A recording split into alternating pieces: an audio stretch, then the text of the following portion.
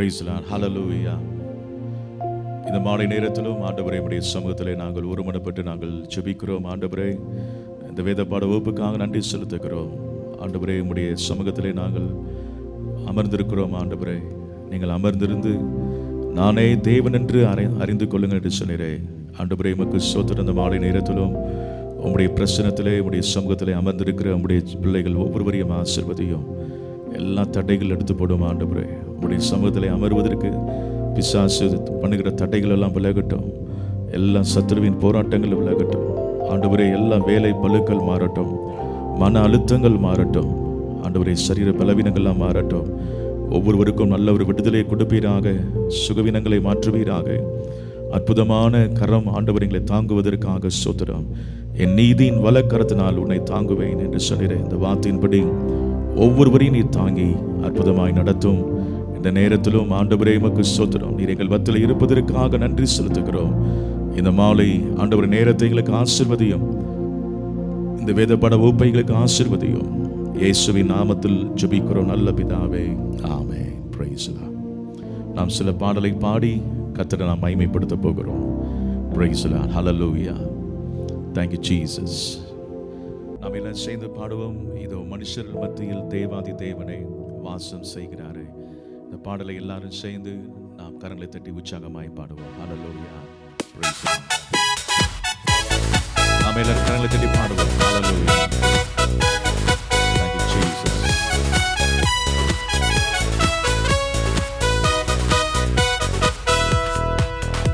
இதோ மனுஷரின் மத்தியில் தேவாதி தேவனை வாசம் செய்கிறாரே.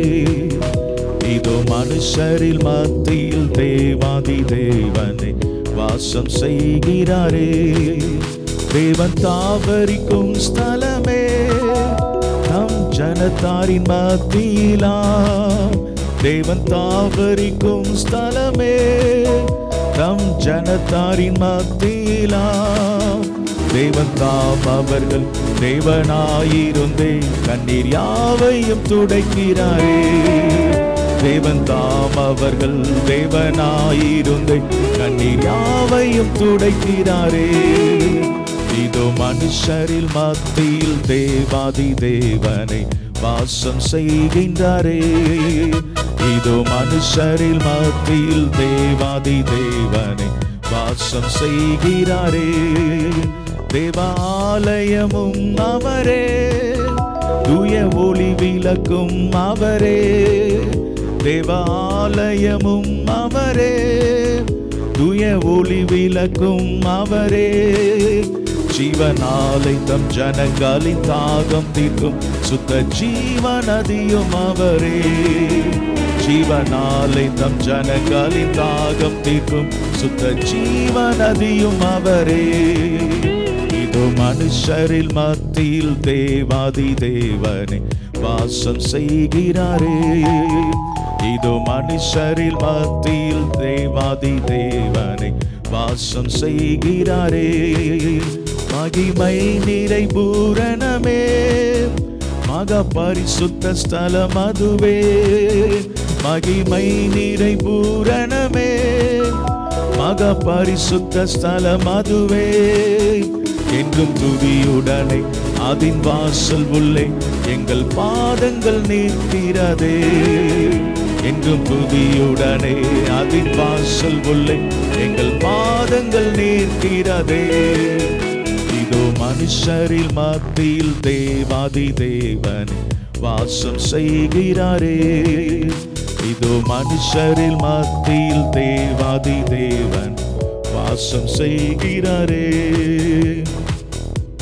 சியோனை உன் வாசல்களை ஜீவ தேவனை நேசிக்கிறார்.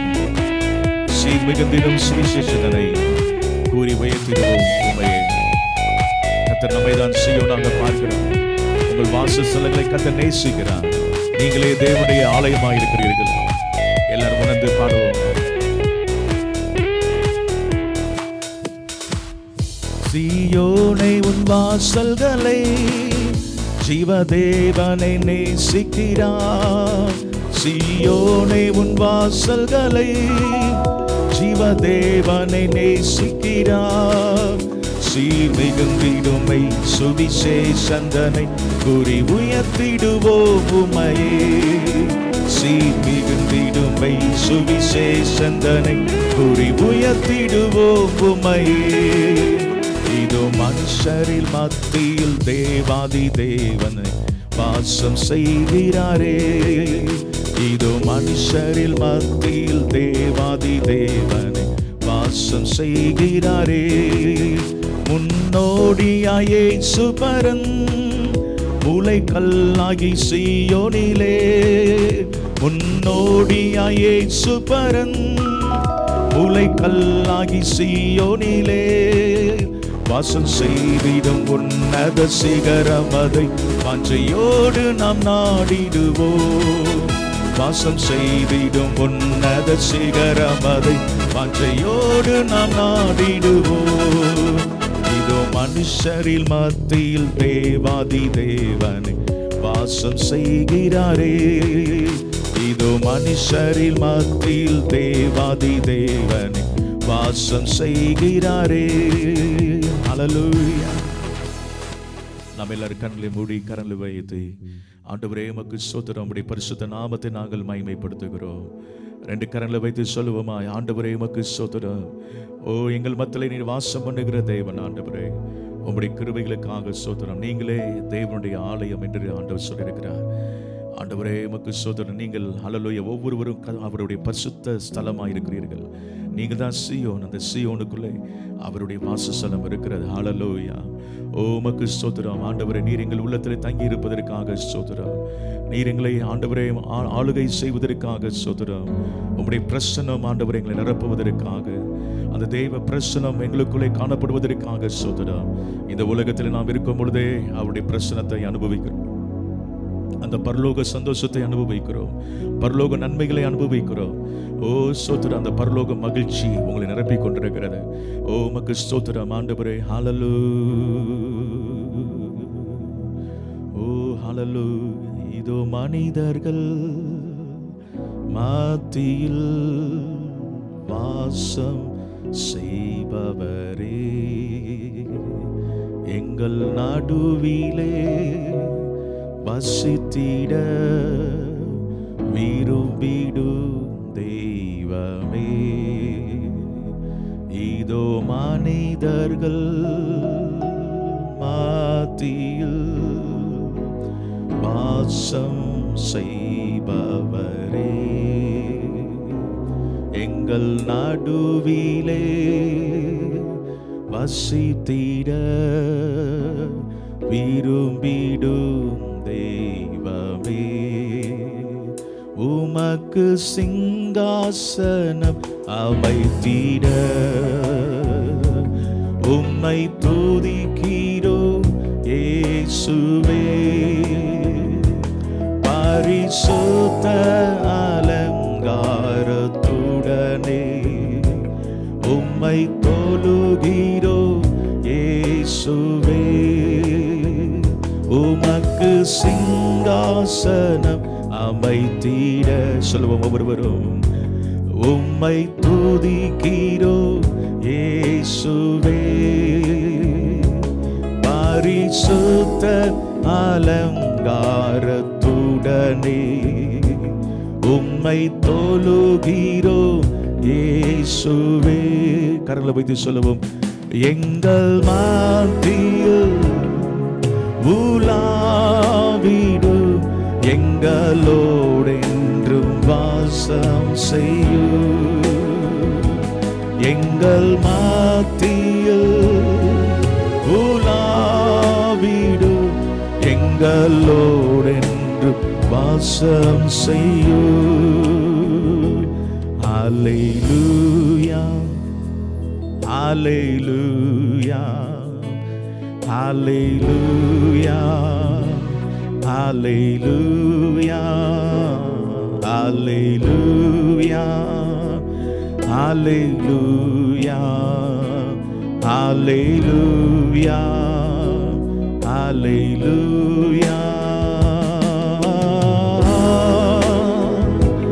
Hallelujah.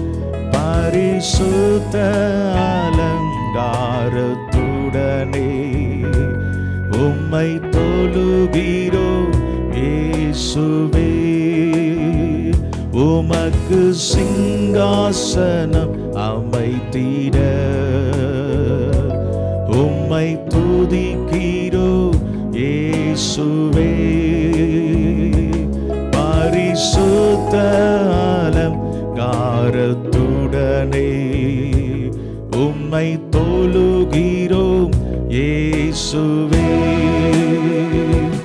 எங்கள் மாத்தியில் உலாவிடும் எங்களோடென்றும் வாசம் செய்யும். எங்கள் மாத்தியில் உலாவிடும் எங்களோடென்றும் வாசம் செய்யும் ஹalleluya ரெண்டு கரங்களை வைத்து சொல்லுவோம். நீர் எங்களுக்கு தேவை ஆண்டவரே. உங்களுடைய பிரசனம் எங்களுக்கு தேவை ஆண்டவரே. ஆண்டுடைய பிரசனம் இன்னும் அதிகமாய் நம்ம நிரப்புவதாக. இன்னும்மை ஆண்டவரே நாங்கள் பின்பற்றி வர விரும்புகிறோம். எங்களை இழுத்துக்கொள்ளும் உம்பிடை நாங்கள் ஓடி வருவோம் ஆண்டவரே. பரிசுத்த ஆவியானவரே உங்களுடைய பிரசனம் எங்களை நிரப்பட்டோம்.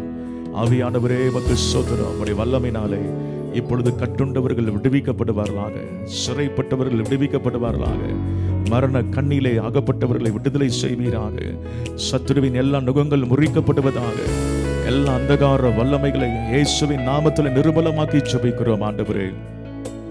அந்த நேரத்திலும் ஆவியானவருடைய மகிமைகளை நிரப்பும்படியாக சுபிக்கிறோம் பிரசனமைகளை நிரப்பும்படியாக சுபிக்கிறோம் எல்லா சுகவினங்கள் மாறுவதாக எல்லா பலவினங்கள் மாறுவதாக எல்லா போராட்டத்துக்கு ஒரு முடிவு வருவதாக. ஓ ஹலலு தேவ பிரசன்னமே இறங்கியே வந்திடுதே. தேவ பிரசன்னமே இறங்கியே வந்திடுதே. தேவனின் மகிமை நம்மை எல்லாம் பரிசுத்த ஸ்தலத்தில் ஓடுதே தேவனின் மகிமை நம்மை எல்லாம் பரிசுத்த ஸ்தலத்தில் ஓடுதே தரிசனமே இறங்கியே வந்திடுவே தேவ பிரசனமே இறங்கியே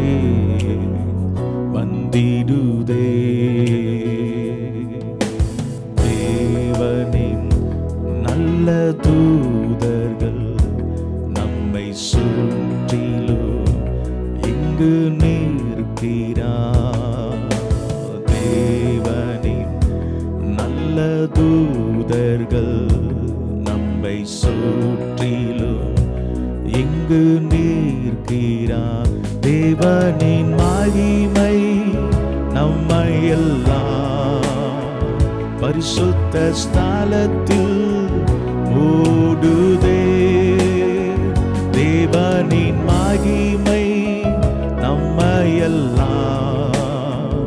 பரிசுத்த ஸ்தலத்தில் ஓடுதே. தேவ பிரசன்னமே இறங்கியே வந்திடுதே. தேவ பிரசன்னமே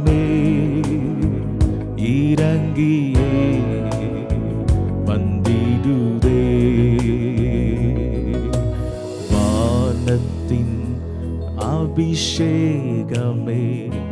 இன்று நமக்குள்ளே நிரம்பி வலியுதே. வானத்தின் அபிஷேகமே. இன்று நமக்குள்ளே நிரம்பி வலியுதே. தேவனின் மகிமை நம்மையெல்லாம் பரிசுத்த ஸ்தலத்தில் ஓடுதே. தேவனின் மகிமை நம்மையெல்லாம் பரிசுத்த ஸ்தாலத்தில் ஓடுதே.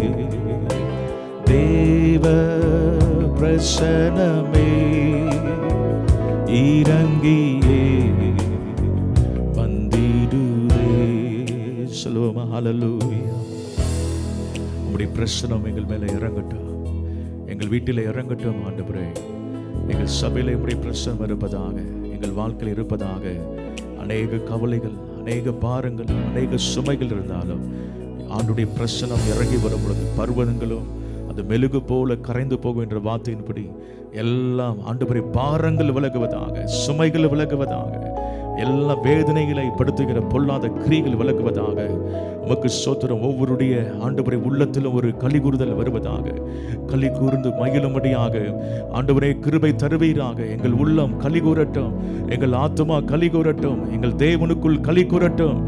ரபா அந்துரபா ஷங்கதி அந்துரபா லபா ஆவில் நிரம்பி ஜோமனுங்கள் பரிசுத்த ஆவியானவரே ஒரு களி கூறுதலின் அனுபவத்தை தாரும். விடுதலையின் அனுபவத்தை தாரும். பரிசுத்த ஆவின் நிறைவை தாரும். எல்லா நுகங்கள் முறிக்கப்படுவதாக அவன் தோளின் மேல் இருக்கிற நுகங்கள் முறிக்கப்படும் என்ற வார்த்தையின்படி உங்க தோளின் மேல் இருக்கிற நுகம் அந்த அபிஷேகத்தினால் முறிக்கப்படுவதற்காக சோதரம் சொல்லுங்கள் அந்த அபிஷேகத்தால் ஆண்டவரே எல்லா நுகங்கள் முறிக்கப்படுவதற்காக நன்றி ஆண்டவரே.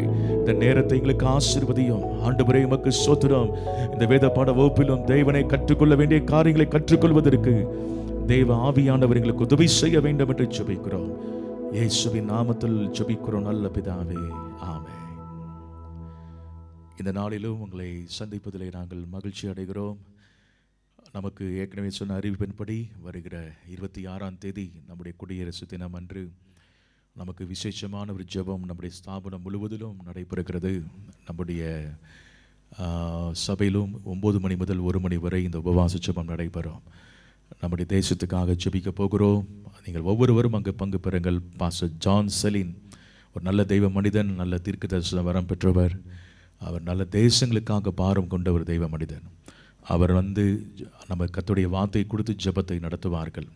எனவே நீங்கள் ஒவ்வொருவரும் கலந்து கொள்ளுங்கள். அதே போல் நம்முடைய நார்த் செக்ஷனில் இருக்கிற ஒவ்வொரு சபையிலும் ஜெபங்கள் நடக்கப் போகிறது. அதற்காகவும் ஜெபித்துக் கொள்ளுங்கள். பல காரியங்களுக்காக ஜெபிக்க போகிறோம். கத்த ஜபங்களை அவர் கேட்கிறவராக இருக்கிறார் இந்த மாலை நேரத்திலும் ஆண்டுடைய சமூகத்தில் நாம் வந்திருக்கிறோம். நாம் போன கடந்த வாரத்திலே தலைமைத்துவத்தின் குணாதிசயங்களை நாம் பார்த்தோம். தாவிதுக்குள்ளே இருந்த நல்ல குணாதிசயங்களுக்காக ஸ்தோத்திரம். இன்றைக்கி நமக்கு தலைமைத்துவ பண்புகளை நாம் வளர்த்துக்கொள்ள வேண்டும். இன்றைக்கி தேவை நல்ல கிறிஸ்தவ தலைவர்கள் தேவை. நல்ல தலைவர்கள் இருந்தால் தான் ஜனங்களை நடத்த முடியும். அநேக ஜனங்கள் சபைக்குள்ளே வரலாம். ஆனால் அந்த ஜனங்களை சரியானபடி நடத்த வேண்டும். அவளை சத்தியத்தில் நடத்த வேண்டும். அவங்க மந்தை மந்தைக்கு மாதிரியாக நாம் இருக்க வேண்டும். கண்காணிப்புகளை நாம் செய்ய வேண்டும். எனவேதான் பட்டணங்கள் தோறும் கண்காணிப்புகளை பவுல் ஏற்படுத்தி கொண்டு வருவதை நாம் பார்க்கிறோம். கண்காணியாக இருக்க விரும்புகிறவன் தன் சொந்த குடும்பத்தை நன்றாக நடத்த வேண்டும் என்று வேதம் சொல்லுகிறது. சபையிலே இந்த தலைமைத்துவம் ரொம்ப அவசியமான ஒரு காரியம். சவுலுக்குள்ளே இந்த ஆரம்ப நாட்களே சில தாழ்மை இருந்தது அவனுக்குள்ளே கீழ்ப்படுதல் இருந்தது அவனுக்குள்ளே பரிசுத்தாவியானவர் இருந்தார். ஆனால் பின் நாட்களிலே அவன் கீழ்ப்படியாமையினாலே அவன் இழந்து போனான். அவனுக்குள்ளே ஒரு மோசமான ஒரு தலைமைத்துவத்துக்குள்ளே போய்விட்டான். அவன் பொறுமையற்றவனாக மாறிட்டான். ஒரு நல்ல தலைவர்கள் நற்பண்புகளை வளர்த்துக்கொள்ள வேண்டும். கடைசியாக பயந்து ஒளிந்து கொண்டான். ஆனால் தாவிதோ அவன் விசுவாசமும் தைரியமும் உள்ளவனாயிருந்தான் ஜனங்களுக்கு மாதிரியாக இருந்தான் கத்தரோடு நெருக்கம் இருந்தான். கத்தரின் இருதயத்துக்கு ஏற்றவைகளை செய்கிற ஒரு நல்ல தலைவனாக இருந்தான். அதுபோல் இந்த நாட்களிலும் நீங்களும் ஒரு சிறந்த தலைவராக இருக்க வேண்டும் என்று கத்தர் விரும்புகிறார். இந்த ஏலிம் ஏஜி சபைக்கு இதை பார்த்து கொண்டிருந்த யாராக இருந்தாலும் சரி நீங்கள் உங்கள் சபைக்கு நல்ல ஒரு தலைவராக இருக்க வேண்டும் என்று கத்தர் விரும்புகிறார். ஏனென்றால் தலைவர்கள் ஆண்டவர் அவர்களை பயன்படுத்த விரும்பும்படியாக விரும்புகிறார். அவர் கையில் பொறுப்புகளை கத்தர் கொடுக்கிறார். அந்த பொறுப்புகளை நீங்கள் சரியாக பயன்படுத்த வேண்டும். ஒரு தலைவன் எப்படிப்பட்டவராக இருக்க வேண்டும் என்றால் செல்வாக்கு நல்ல குணாதிசயங்கள் மாத்திரமல்ல செல்வாக்கு நிறைந்தவராக இருக்க வேண்டும். சில தலைவர்கள் சொன்னதை எல்லாரும் அப்படியே கேட்பார்கள். சிலர் சொல்வதை சிலர் அல- அலட்சியம் செய்து விடுவார்கள் நீங்கள் பார்க்கும் பொழுது ஒரு செல்வாக்குமிக்க தலைவனாக நாம் உருவாக வேண்டும் என்றால் யோசுவாவை நாம் கவனித்து பார்க்க வேண்டும். இந்த யோசுவாவின் ஆரம்ப நாட்களிலே அவன் செல்வாக்குள்ள தலைவனாக இல்லை. நீங்கள் என்னாகும் புஸ்தகத்தை நீங்கள் எடுத்து வாசித்து பார்க்கும் பொழுது அதிலே பதினாலாம் அதிகாரத்தை நீங்கள் வாசிக்கும் பொழுது வேவு பார்க்க போன பன்னிரெண்டு பேரில் பத்து பேர் தவறான அறிக்கைகளை சொல்கிறார்கள். இந்த தவறான அறிக்கை சொல்லும் பொழுது காலைப்பும் யோசுவாவும் மாத்திரமே நல்ல அறிக்கைகளை சொன்னார்கள். ஆனால் இந்த நல்ல அறிக்கைகளை அந்த ஜனங்கள் விசுவாசிக்கவில்லை. பத்து பேர் சொன்னது தான் எல்லாரும் கேட்டார்கள். ஏனென்றால் அந்தளவுக்கு யோசுவா செல்வாக்கு உள்ள தலைவனாய் அப்பொழுது இல்லை. அந்த நாட்களை வளர்ச்சி அடையவில்லை. இப்பொழுது உங்கள் வாழ்க்கையை நீங்கள் சொல்வதை அநேக ஜனங்கள் கேட்காம இருக்கலாம். அநேகர் உங்களுடைய காரியத்தை நீங்கள் ஏதாவது ஒரு பொறுப்பு ஒரு கேர்ஸ் லீடராக பொறுப்படுத்திருக்கலாம் ஒரு ஜோன் லீடராக பொறுப்படுத்திருக்கலாம் ஒருவேளை ஒரு உதவி ஊழியராக இருக்கலாம் ஒருவேளை ஒரு நீங்கள் ஏதோ ஒரு பொறுப்பை சபையிலே நீங்கள் எடுத்து செய்து கொண்டிருக்கலாம். நீங்கள் சொல்கிறதை சிலர் கேட்காம இருக்கலாம். நீங்கள் வேலை பார்க்கும் இடத்துல கூட நீங்கள் டீம் லீடராக இருக்கலாம். நீங்கள் சொல்கிறத கேட்குற அளவுக்கு நீங்கள் செல்வாக்கு மிகுந்த தலைவராக இல்லாமல் இருக்கலாம். ஆனால் பத்து பேருடைய அங்கே சொல்ல காரியம் தான் அங்கே ஓங்கினது. காலை யோசுவா சொன்னதை யார் கேட்கவில்லை. அவங்க சொன்னார்கள் அந்த பத்து பேரும் அது தேசம் அது நல்ல தேசம்தான் ஆனால் அதை ஒருபோதும் நாம் சுதந்திரித்து கொள்ள முடியாது என்று சொன்னார்கள். அவர்களுக்குள்ளே பாருங்கள் அவிசுவாசம் இருந்தது பயம் இருந்தது. அதை எல்லாருக்குள்ளும் புகுத்தினார்கள். எல்லாருக்குள்ளும் அந்த அவிசுவாசம் வந்தது பயம் வந்தது. அவர்களுக்குள்ளே அவங்க சொன்னாங்க அவங்க பார்வைக்கு நாங்கள் வெட்டுக்கிளிகளைப் போல இருந்தோம். துர்ச்செய்தியை பரப்பினார்கள். ஆனால் இந்த ரெண்டு பேர் தான் நல் நற்செய்தியை பரப்பினார்கள். ஆனால் இவங்களுக்கு செல்வாக்கு இல்லாதனாலே திரளான ஜனங்கள் அந்த துர்ச்செய்தியை கேட்டு வனாந்திரத்திலே மடிந்து போனதை பார்க்கிறோம். எனவே தான் நல்ல தலைவர்கள் தேவை. நல்ல தலைவர்களுக்கு செல்வாக்கு தேவை அவசியமாக இருக்கிறது இன்றைக்கி அநேகர் துர்ச்செய்தியை கேட்குற அநேக ஜனங்கள் மடிந்து போகிறாங்க பத்து பேர் வெளியில் பேசுகிறத கேட்டுட்டு கெட்டு போகிற ஜனங்கள் உண்டு. அவங்க பேசுகிறது தான் அவங்களுக்கு காதில் உழுகும் ஆனால் காலை யோசுவை போல நல்ல தலைவர்கள் பரிசுத்தாவிலால் நிரப்பப்பட்டவர்கள் அவர்கள் நற்செய்தியை சொல்லுகிற தலைவர்கள் சொல்கிற கார்த்தை ஜனங்கள் கேட்கவில்லை. ஏனென்றால் இந்த காலைப்பும் யோசுவாவும் அப்பொழுது செல்வாக்கு பெற்ற தலைவர்களாக இருக்கவில்லை. அவர்கள் சொன்ன வார்த்தையை அங்கே இருக்க ஜனங்கள் கேட்கவில்லை. இதனால் நடந்த விளைவு பாருங்கள் மோசமான விளைவு. அங்கே சொல்லப்பட்டிருக்கிறது இந்த புருஷர்கள் ஒருவரும் அங்கே கா- அங்கே பாலும் தேனும் ஓடுகிற தேசத்துக்குள்ளே பிரவேசிப்பதில்லை என்று ஆண்டவர் சொல்லுகிறார். இன்றைக்கி தலை தவறான துர்ச்செய்தி பரப்புகிறவர்கள் செல்வாக்கு அடையும் பொழுது சபை பாதிக்கப்படுகிறது. சபையிலே அநேக தீமைகள் உண்டாகிறது நஷ்டங்கள் உண்டாகிறது மரணங்கள் உண்டாகிறது வேதனைகள் உண்டாகிறது. ஆனால் நல்ல செல்வாக்கு உடையவர்கள் நல்ல தலைவர்கள் செல்வாக்கு குறைவாக இருக்கிறபடினாலே ஜனங்கள் அவங்க சொல்கிறது கேட்கவில்லை. மெஜாரிட்டி என்ன சொல்கிறாங்களோ அதை கேட்குறோம். அவங்க எல்லாம் அவர் மோசம்னு சொல்லிட்டாங்க. அவங்க எல்லாரும் ஓ மோசை சொன்னதை நம்ப வேண்டாம். அங்கே ஆரோனும் மோசையும் சொன்னது நம்ப வேண்டாம். அந்த பாலும் தேனும் ஓடுகிற தேசம் நல்ல தேசம்தான். ஆனால் அங்கே இருக்கிற ஜனங்கள் ராட்சசர்களை போல் இருக்கிறார்கள். அதை எளிதாக நாம் பிடிக்க முடியாது. கடினம். அது நாம் எல்லாம் செத்து விடுவோம் என்று சொல்லி துர்ச்செய்தியை பரப்பினதான் நம்பினார்கள். இன்றைக்கு சபைக்குள்ளேயும் துர்ச்செய்தியை பரப்புகிறவங்கள நம்பி அநேக கெட்டு போகிறாங்க ஆனால் உண்மையாகவே காலை பூம்பாரி யோசுவா போல நல்ல ஆவி உடையவர்கள் சொல்வதை கேட்கவில்லை. ஏனென்றால் அவங்க செல்வாக்கு பெறவில்லை. அப்போ ஒரு நல்ல தலைவன் செல்வாக்குகளை வளர்த்து கொள்வதற்கு என்ன செய்ய வேண்டும் என்று சொன்னால் முதலாவது இந்த யோசுவாவுக்குள்ளே இந்த செல்வாக்கு இல்லை. ஆனால் அதை வளர்த்துக் கொள்வதற்கு என்ன செய்தான் என்றால் மோசே ஒரு நல்ல செல்வாக்குள்ள ஒரு தலைவனாக இருந்தார். மோசை சொன்னதை எல்லாரும் அப்படி கேட்டார்கள். ஏனென்றால் மோசே ஓடு கத்தர் இருந்தார். மோசே முன்பதாக செங்கல் ரெண்டாக பிளந்தது. மோசை கண்மலை பார்த்து அங்கே அடித்த பொழுது அங்கே தண்ணீர் புறப்பட்டு வந்தது. அவன் பாருங்கள் மோசை மூலமாக தேவன் வல்லமையான காரியங்களை செய்தார். இப்பொழுது இந்த மோசையோடு கூட இந்த யோசுவா இருந்தது. தொடர்பு கொண்ட தொடர்பின் நிமித்தமே இந்த யோசுவாவின் செல்வாக்கு கொஞ்சம் கொஞ்சமாக வளர ஆரம்பித்தது. உங்கள் வாழ்க்கையிலே ஏற்கனவே நல்ல செல்வாக்கு பெற்ற தலைவர்களோடு கூட நீங்கள் நல்ல ஒரு தொடர்பை என்ன செய்ய வேண்டும் வைத்துக்கொள்ள வேண்டும். மோசையோடு யோசுவாவுக்கு நல்ல ஒரு தொடர்பு இருந்தது. ஆரம்பத்தில் இல்லை. ஆனால் அதன் பிறகு அவன் மோசையோடையே இருந்தான் என்று வேத்திலே சொல்லப்பட்டிருக்கிறது. அவன் எப்படிப்பட்ட தொடர்புடையவனாக இருந்தான் என்றால் மோசை கூப்பிட்டு ஒரு பெரிய ஒரு யுத்தத்தை நடத்துவதற்கு அவனுக்கு பொறுப்பை கொடுக்கிறான். நீங்கள் வேத்தை எடுத்து நீங்கள் வாசித்து பார்க்கும் பொழுது யோ அங்கே யாத்ராகும் புஸ்தகத்திலே சொல்லப்பட்டிருக்கிறது. பதினேழாம் அதிகாரம் ஒன்பதாம் வசனம் பத்தாம் வசனத்திலே நீங்கள் வாசித்து பார்க்கும் பொழுது ஒரு பெரிய பொறுப்பை அவன் கொடுக்கிறதை பார்க்கிறோம். அங்கே ரெவிதீமிலே யுத்தம் பண்ணும்படியாக அமலேக்கர்கள் வருகிறார்கள். இந்த அமலேக்கர்கள் வரும் பொழுது அங்கே யார் போய் த யுத்தம் பண்ணுவது? மோசே மலை உச்சிலே அங்கே இருக்கிறான். ஆனால் யுத்தம் பண்ணுகிற பொறுப்பு யோசுவாவின் கையில் கொடுக்கப்பட்டது. அந்த பொறுப்பை அவன் வாங்கி யுத்தம் பண்ண போகிறான். வேத்திரை சொல்லப்பட்டிருக்கிற பத்தாம் வசனத்திலே அவன் மோசை சொன்னபடி என்ன செய்தான்? அப்படியே செய்தான் என்று வேத்திரை சொல்லப்பட்டிருக்கிறது. மோசே என்ன சொன்னாரோ அதை அப்படியே செய்தான். அங்கே சொல்லப்பட்டிருக்கிற அந்த வசனத்தில் அப்பொழுது மோசை யோசுவாய் நோக்கி நீ நமக்காக மனிதரை தெரித்து கொண்டு புறப்பட்டு அமலை கூட யுத்தம் பண்ணு என்று சொல்லுகிறார். யோசுவா தனக்கு மோசை சொன்னபடியே செய்து அமலை கூட யுத்தம் பண்ணினான். மோசை சொன்னபடியே செய்தான் ஒரு ஒரு நல்ல செல்வாக்கு மிக்க தக தலைவனாக இருந்த மோசையோடு இவன் நல்ல தொடர்பு வைத்தது மாத்திரமல்ல அந்த தலைவனுடைய நம்பிக்கையை அவன் பெற்றிருந்தான். அந்த தலைவன் சொன்ன வார்த்தையை அவன் கேட்டு அதன்படி செய்கிறவனாக இருந்தார். இன்றைக்கி நம்ம வாழ்க்கையிலே நீங்கள் ஒரு செல்வாக்குள்ள தலைவனாய் மாற வேண்டும் என்றால் நீங்கள் அதாவது நம்ம எதை செய்கிறோமோ அதை தான் நம்ம வந்து அறுக்க முடியும். அந்த நல்ல தலைவனோடு மோசையோடு நல்ல ஒரு ஐக்கியத்தை வைத்திருந்தார். அந்த ஐக்கியம் அந்த ஐக்கியம் எப்படி இருந்தது என்றால் ஒரு பொறுப்பை கொடுத்து செய்யின்னு சொல்லும் பொழுது தைரியம் அவன் போய் செய்கிறான் நீ யுத்தம் பண்ண மனிதர்களை தெரிந்து கொண்டு போ. அப்படி சொன்னான் ஆ நான்லாம் போக மாட்டேன். அப்படிலாம் சொல்லவில்லை. யோசுவா அவன் உடனே கீழ்ப்படிந்து அங்கே போகிறதை பார்க்கிறோம். எனவே ஒரு நல்ல ஒரு தலைவனாக செல்வாக்குள்ள தலைவனாக இங்கே உருவாக வேண்டும் என்றால் முதலாவது ஏற்கனவே உள்ள தலைமைக்கு நீங்கள் கீழ்ப்படிய வேண்டும். உங்களுக்கு மேலே இருக்கிற தலைமைக்கு கீழ்ப்படுகிறீங்களா? உங்களுக்கு மேலே கத்தர் வைத்திருக்கிற தலைமைத்துவத்துக்கு கீழ்ப்படுகிறீங்களா? தலைமைத்துவம் என்று சொல்லும் பொழுது ஒரு தெய்வம் என்று சொன்னார் முதலாவது இயேசு கிறிஸ்து அவர் தேவனுக்கு கீழ்ப்படிந்திருந்தார் ஆனால் அவர் வீட்டில் இருக்கும் முப்பது ஆண்டுகள் தன்னுடைய பெற்றோருக்கு கீழ்ப்படிந்து அடங்கியிருந்தாராம் முதலாவது தலைமைத்துவம் உங்கள் வீட்டிலேருந்து ஆரம்பமாக வேண்டும். புருஷன் பாருங்கள் மனைவி புருஷனுக்கு கீழ்ப்படிய வேண்டும். என்னால் வீட்டிலே தலைவர் யார்? புருஷன். அதில் நீங்கள் கரெக்டாக இருந்தால் தான் செல்வாக்குள்ள தலைவராக நீங்கள் மாற முடியும். ரெண்டாவது பிள்ளைகள் பெற்றோருக்கு கீழ்ப்படிய வேண்டும். அதான் பாருங்கள் சிலர் வந்து பிள்ளைகள் சொல்கிறது தான் பெற்றோர் கீழ்ப்படிய வேண்டியது அது- அப்படி மாறிடுச்சுன்னா சரியாக வராது. நீங்கள் நல்ல தலைவராக வர முடியாது.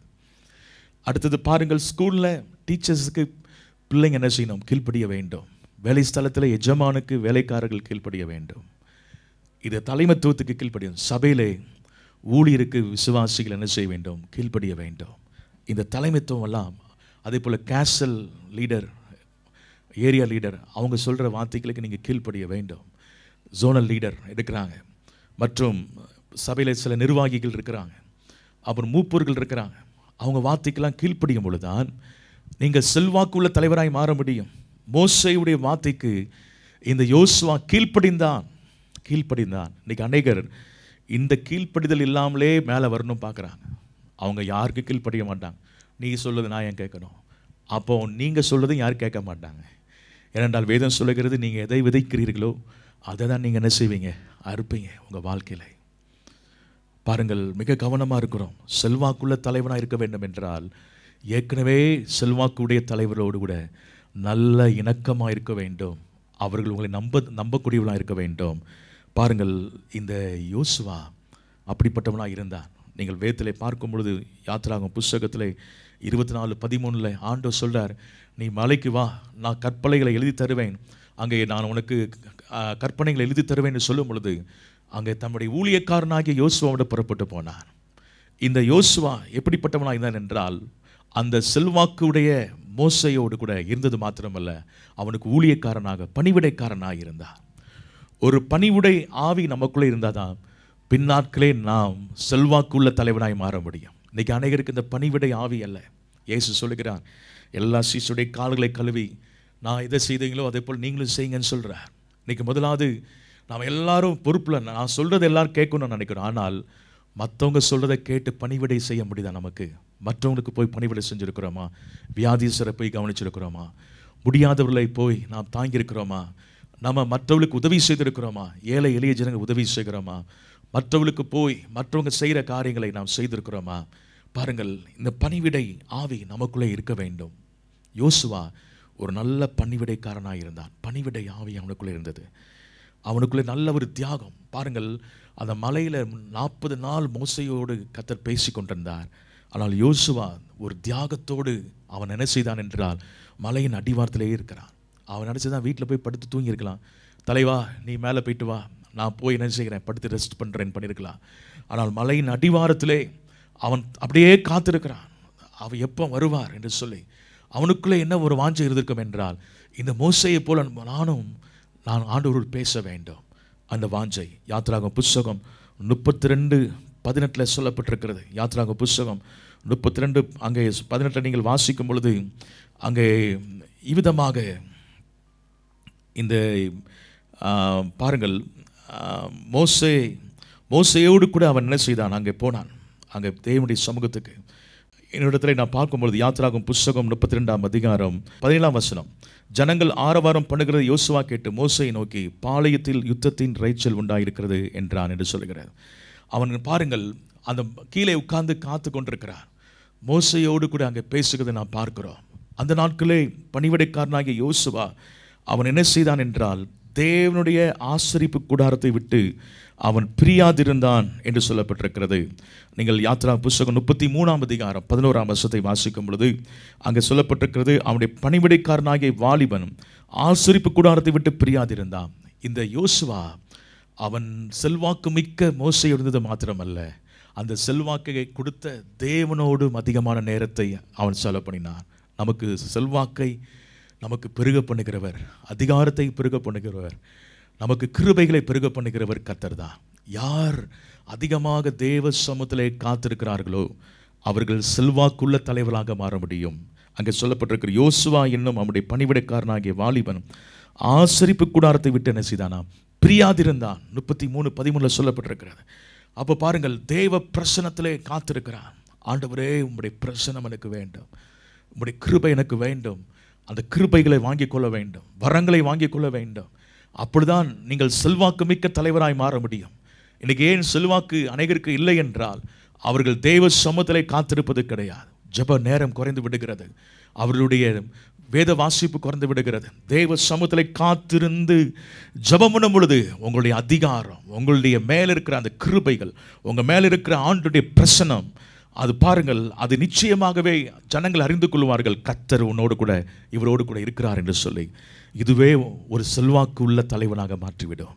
யோசுவா ஒரு செல்வாக்குள்ள தலைவனாய் மாறினதுக்கு காரணம் அங்கே செல்வாக்கு மிக்க தலைவனாகிய மோசையோடு நல்ல ஒரு ஐக்கியத்தை வைத்திருந்தான். அடுத்ததாக தேவனோடு நல்ல ஒரு ஐக்கியத்தை நாம் என்ன வைத்திருந்தான். நடந்த காரியம் என்னவென்றால் படிப்படியாக ஆண்டவர் சொன்னார் அந்த மோசையிட உன்னுடைய கணத்தை கொஞ்சம் யோசுவாவுக்கு கொடு என்று கற்று சொன்னார். இந்த செல்வாக்கு எப்படி வருகிறது என்றால் சில நேரத்தில் ஊழியக்காரர்கள் நமக்கு மேலே இருக்கிற ஊழியக்காரர் மூலமாய் செல்வாக்கு நமக்குள்ளே வருகிறது. உபாகம் புஸ்தகம் முப்பத்தி நாலாம் அதிகாரம் ஒன்பதாம் வருஷத்தை வாசிக்கும் பொழுது மோசே நூனின் குமாரனாகிய யோசுவாவின் மேல் தன் கைகளை வைத்தபடினால் அவன் ஞானத்தின் ஆவினால் நிறையப்பட்டான் இஸ்ரேல் புத்திரர் அவனுக்கு கீழ்ப்படிந்து கத்தர் மோசைக்கு கட்டளப்படியே கட்டளையிட்டபடியே செய்தார்கள். மோசே தன்னுடைய கைகளை யோசுவாவின் மேலே வைத்த பொழுது பவுல் தன்னுடைய கைகளை தீமோத்தையின் மேலே வைத்தது போல அப்பொழுது நீ பெற்றுக்கொண்ட இந்த வரங்களை நீ அனல் முட்டி எழுப்பு என்று பவுல் சொல்லுகிறார். அதுபோல மோசே யோசுவாவின் மேலே கைகளை வைத்த பொழுது அங்கே சொல்லப்பட்டிருக்கிறது அவன் ஞானத்தின் ஆவினால் நிறையப்பட்டான். அல்லேலியா சொல்லுவாமா ஹலலோயா நல்ல செல்வாக்கு மிக்க தெய்வ ஊழியர்கள் இருக்கிறாங்க. அவங்க அவங்க கை நம்ம மேலே படணும். அவங்க நம்ம தொட்டு நம்மளை ஆசிர்வதிக்கும் பொழுது அவர்களுடைய அந்த கிருபைகள் இந்த ஞானத்தின் மோசை கொடுத்த அந்த ஞானத்தின் ஆவியெல்லாம் இவன் மேலே அப்படியே இறங்கினது. யார் மேலே? யோசுவாவின் மேலே. ஆண்டு சொன்னா கணத்தை கொஞ்சம் கொடுப்பா. அப்போ பாருங்கள் மோசை என்ன சொன்னான் என்றால் நீ வந்து இந்த ஜனத்தை அழைத்து கொண்டு போய் செய்வா என்று சொல்கிறான் முப்பத்தி யாத்திரை முப்பத்தி ஒன்று ஒன்றுலேருந்து எட்டு வரை வாசிக்கும் பொழுது பின்பு மோச யோசுவை அழைத்து இஸ்ரேல் எல்லாரும் பார்த்துருக்க அவனை நோக்கி பலம் கொண்டு திடமனதாயிரு. கத்தர் இவளுக்கு கொடுப்பேன் என்று இவருடைய பிதாக்களுக்கு ஆணையிட்ட தேசத்துக்கு நீ இந்த ஜனத்தை அழைத்து கொண்டு போய் அதை இவர்கள் சுதந்திரிக்கும்படி செய்வாய் என்றான். அங்கே வாக்குத்தத்தம் கொடுக்கிறான் அந்த- மோசை நீ இதெல்லாம் சுதந்திரிக்க பண்ணுவாய். உன்னை கத்தர் உன்னை பயன்படுத்துவார் என்று சொல்லுகிறான். பாருங்கள் இது ஒரு செல்வாக்கை அவனுடைய வாழ்க்கையில் என்ன செய்தது? ஏற்படுத்தினது. இன்றைக்கி நம்ம வாழ்க்கையில் செல்வாக்கு மிக்க தலைவராக இருக்க வேண்டும் என்றால் நம்ம நல்ல செல்வாக்கு மிக்க தலைவரோடு நல்ல ஒரு ஐக்கியத்தை வைத்துக்கொள்ள வேண்டும். அவர்கள் சொன்ன வார்த்தைக்கு கீழ்ப்படிய வேண்டும். அதுக்கான சில தியாகம் இருக்கு. பணிவிடை ஆவி நமக்கு தேவை. அடுத்ததாக தேவனோடு நல்ல நேரத்தை நாம் செலவு பண்ண வேண்டும். அது மாத்திரமல்ல அவர்கள் அங்கே மோசையோடு கூட தொடர்பு நிமித்தம் யோசுவா மேலே அவன் கை வைத்ததினாலே அந்த செல்வாக்கு அதிகரிக்க ஆரம்பித்தது. பின் நாட்களை நீங்கள் பார்க்கும் பொழுது அவன் அதை சொல்ல யோசுவாவின் புஸ்தகத்தை நீங்கள் வாசிக்கும் பொழுது ஒன்றாம் அதிகாரத்திலே ஆண்டவர் ஒரு காரத்தை சொல்கிறார் நீ உயிரோடு இருக்கும் நாளெல்லாம் ஒருவனும் உனக்கு முன்பாக எதிர்த்து நிற்பதில்லை. நான் மோசையோடு இருந்தது போல உன்னோடு இருப்பேன். நான் உன்னை விட்டு விலகுவதும் இல்லை உன்னை கைவிடுவதும் இல்லை என்று கத்த சொல்லுகிறார். பலங்கொண்டு திடமனதாயிரு என்று கத்த சொல்லுகிறார். ஜனத்தின் பிதாவிற்கு நான் கொடுப்பேன் என்று ஆணையிட்ட தேசத்தை நீ இவர்களுக்கு பங்கிடுவாய். ஒரு பெரிய பொறுப்பை நான் உன்னோடு கூட இருப்பேன் என்று கத்த சொல்லுகிறார். ஒருவனும் உனக்கு முன்பாக எதிர்த்து நிற்பதில்லை. அவனை ஒரு செல்வாக்கு மிக்க தலைவனாய் உயர்த்தினது கத்தர். அவனை என்ன செய்தார் என்றால் வாக்குத்தத்தம் கொடுத்தார். அதற்கு அவன் செய்ய வேண்டிய ஒரு காரியத்தை கற்று சொன்னார். இந்த நியாயப்பிரமாண புஸ்தத்தில் அவனுடைய செய்ய கவனமாயிரு ஆண்டு சொன்னார். நீ புத்திமானாய் நடப்பதற்கு நீ என்ன செய்ய வேண்டும்? இடதுபுறம் விழுதுபுறத்தை விட்டு சாயாதிருப்பையாக சொல்லுகிறார். இந்த நியாயப்புறம் புஸ்தகம் உன் வாயை விட்டு பிரியாதிருப்பதாக எப்பொழுதும் அந்த நியாயப்புறம் உன் புஸ்தகத்தை வாசித்து கொண்டிரு. அதை பற்றி பேசிக்கொண்டே இரு என்று ஆண்டு சொன்னார். அதை செய்ய கவனமாயிரு. இரவும் பகலும் அதை தியானித்து கொண்டு என்று கற்று சொன்னார். அப்பொழுது நீ உன் வழியை மாய்க்க பண்ணுவாய். ஒரு செல்வாக்கு மிக்க தலைவன் செய்ய வேண்டிய காரியம் இதுதான். கத்தருடைய வழிகளை அறிந்து கொள்ள வேண்டும். கத்தருடைய சத்தியத்தை அறிந்து கொள்ள வேண்டும். அதை தியானிக்க வேண்டும். அதையே பேச வேண்டும். அதையே நம்முடைய வாழ்க்கையை அபியாசப்படுத்த வேண்டும். அப்பொழுது ஒரு செல்வாக்கு மிக்க தலைவனாக தேவன் உங்களை உயர்த்த முடியும். ஆண்டவர் எப்படி உயர்த்தினார் என்றால் எல்லா ஜனங்களுடைய கண்களுக்கு முன்பதாக கத்தர் இந்த யோசுவாவை மேன்மைப்படுத்தினார். வேதத்திலே சொல்லப்பட்டிருக்கிறது. யோசுவா நாலாம் அதிகாரம் பதினாலாம் வருஷத்தில். அந்நாள் கர்த்தர் யோசுவாவை சகல இஸ்ரவேலின் ஜனங்களுக்கு முன்பதாக கண்களுக்கு முன்பாக மேன்மைப்படுத்தினார். அவர்கள் மோசைக்கு பயந்தது போல அவனுக்கும் அவன் உயிரிழந்த நாளெல்லாம் பயந்திருந்தார்கள். ஏனென்றால் கத்தர் அவனோடு இருந்து காரியங்களை செய்ய ஆரம்பித்தார். ஒரு செல்வாக்கு மிக்க தலைவனாய் மாற வேண்டும் என்றால் கத்தர் உங்கள் கூட இருக்கணும். ரெண்டாவது உங்க கூட இருந்து அற்புதங்களையும் அடையாளங்களையும் கத்தர் செய்ய வேண்டும். உங்கள் மூலமாய் தேவன் அற்புதங்களை செய்வார் அதிசயங்களை செய்வார். உங்க கூட கத்தர் இருப்பதை அநேக ஜனங்கள் கண்டு அவர்கள் பயப்படுவார்கள். ஓ இவரோடு கூட கத்தர் இருக்கிறார் என்று சொல்லி. அப்போ உங்களை செல்வாக்கு நீங்கள் வந்து நீங்களாகவே உங்கள் செல்வாக்கை உண்டு பண்ண முடியாது. அப்சலோம் அவன் தனக்கு செல்வாக்கு உண்டு பண்ணான் ரதங்களை சம்பாதித்தான் குதிரை வீரரை சம்பாதித்தான்.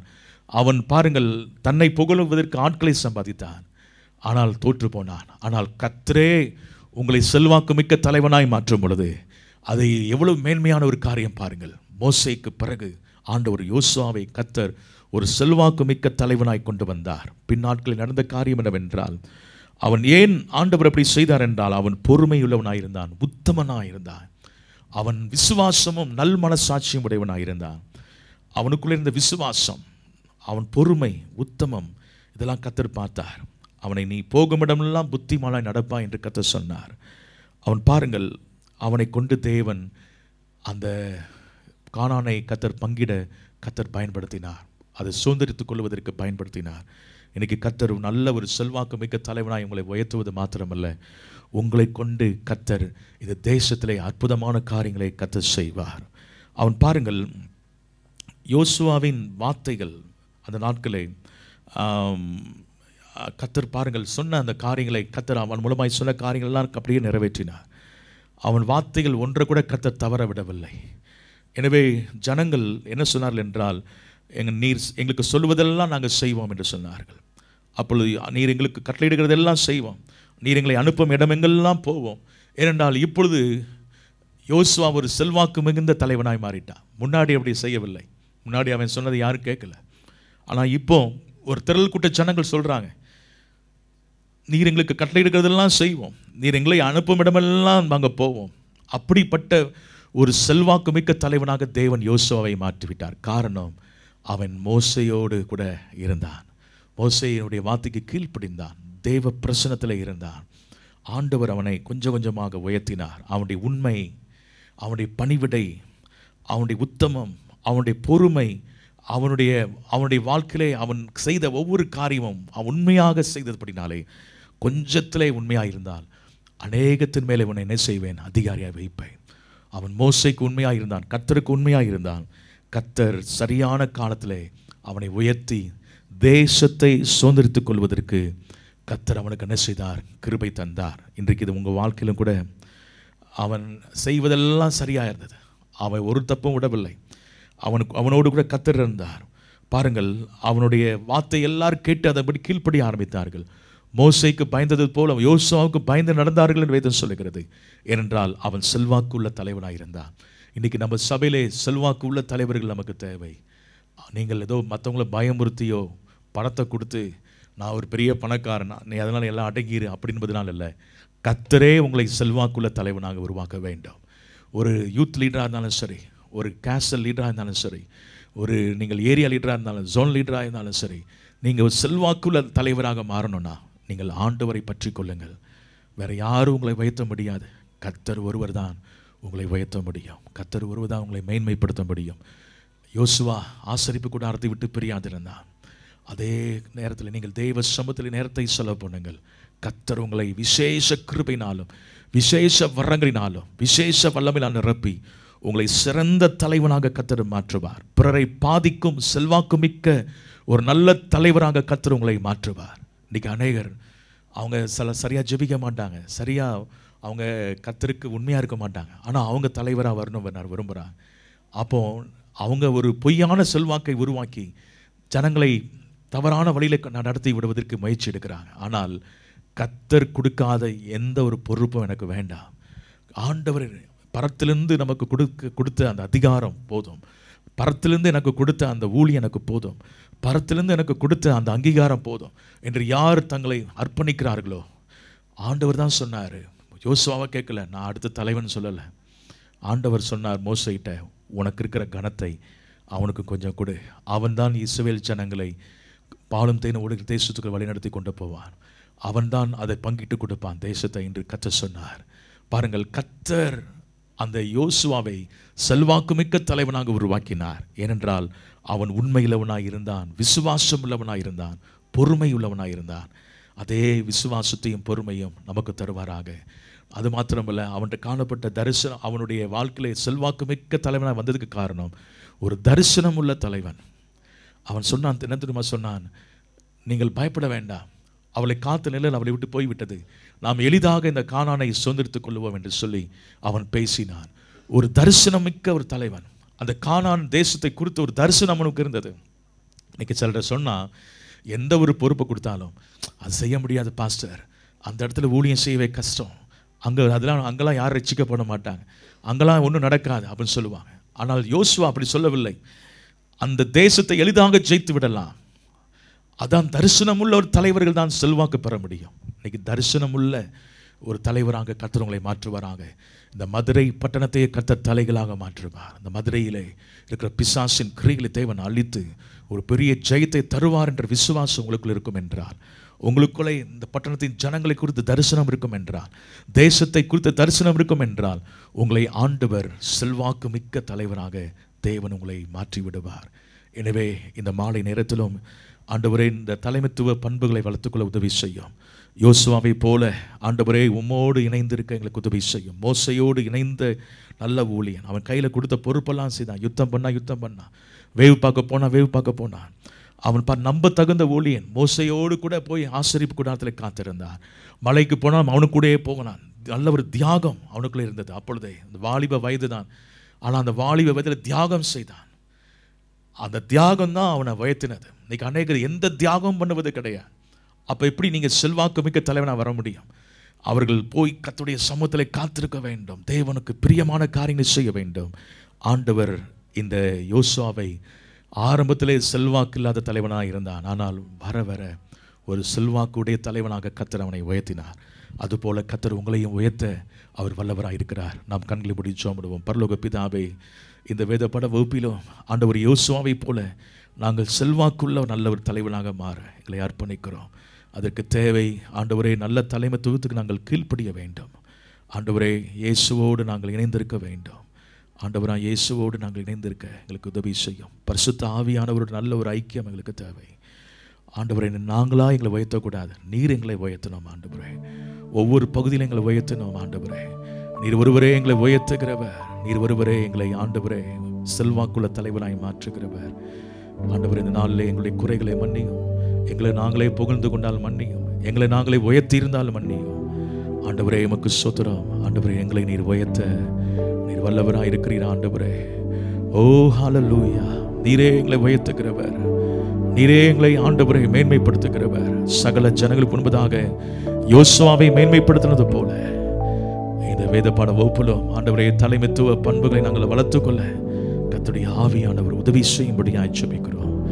நல்ல தலைவர்களாக எங்க சபையில அநேகரை உருவாக்கி தாங்கப்பா அநேக யோசுவாவுக்கள் எழும்பட்டும் ஆண்டவரே. அநேக தாவிதிகள் எழும்பட்டும் ஆண்டவரே. அப்படி நாம மைமைப்படட்டும் இயேசுவின் நாமத்தில் ஜபிக்கிறோம். நல்ல பிதாவே ஆமே பிரைஸ் கத்தர் உங்களை ஆசீர்வதிப்பாராக. ஆமென்.